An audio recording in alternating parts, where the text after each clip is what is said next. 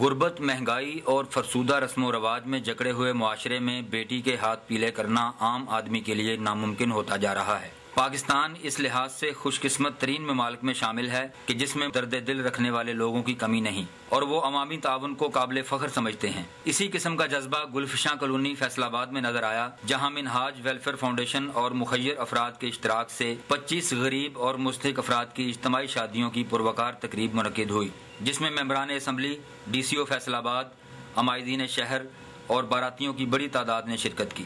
اس موقع پر ازدواجی زندگی شروع کرنے پر دولہے اور دلہنے انتہائی مسرور نظر آ رہے تھے۔ کدے اور ہمت دیں ان لوگوں کو شادیاں کر ہر سال بعد کرتے ہیں یہ شادی۔ بچی بہت اچھا کیا اللہ تعالیٰ ان کو زیادہ دے۔ اللہ تعالیٰ کل کے بچوں کے نصیب اچھا کرے ان کو زیادہ سے زیادہ رزق دے اللہ تعالیٰ۔ جی بھی یہ بہت اچھا پروگرام ہے۔ یہ جو غریب لوگوں کے لیے انہوں نے شروع کیا ہے۔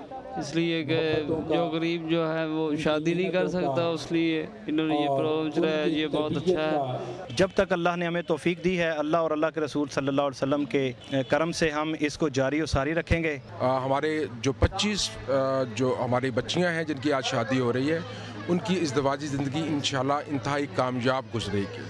میں شکر گزار ہوں میڈیا کا بھی کہ آج آپ نے کچھ نیگیٹو چیزوں کے ساتھ ساتھ ایک بہت مثبت چیز کو بھی آپ اس طرح محنت کے ساتھ کیپچر کر رہے ہیں۔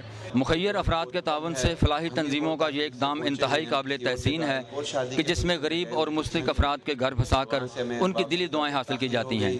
کیمرامین نئی مشرف اور فہد جان کے ساتھ Muhammad Naseem Shah business plus news Faisalabad.